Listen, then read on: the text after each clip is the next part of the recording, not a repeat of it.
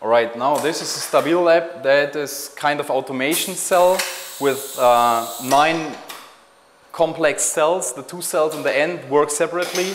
They are not part of the actual manufacturing part. And this kind of simulates actually a manufacturing process. It's for undergraduate course to try to um, show the students what we are able to do in terms of automation, automation manufacturing.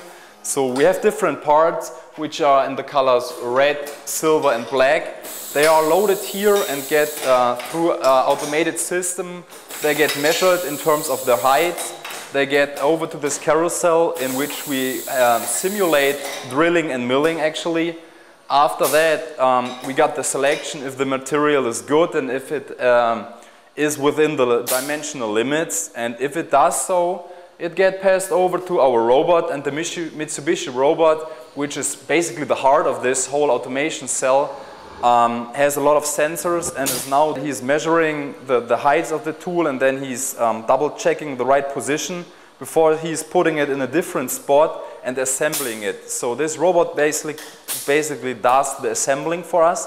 So that would be very helpful in terms of uh, a hazard area or something, since we don't want to have our employees working in that then. The main purpose of that is actually to show undergraduate students how automated manufacturing could look like, how you could do it,